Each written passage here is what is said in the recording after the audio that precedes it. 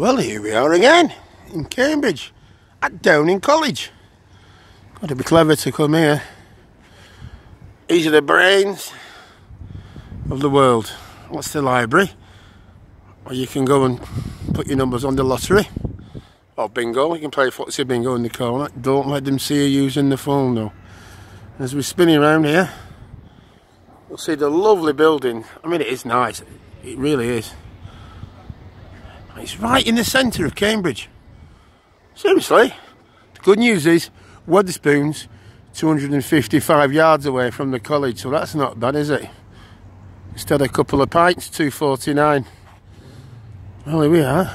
You see the gardens here, where you can walk round, have your pictures taken when you pass your degree.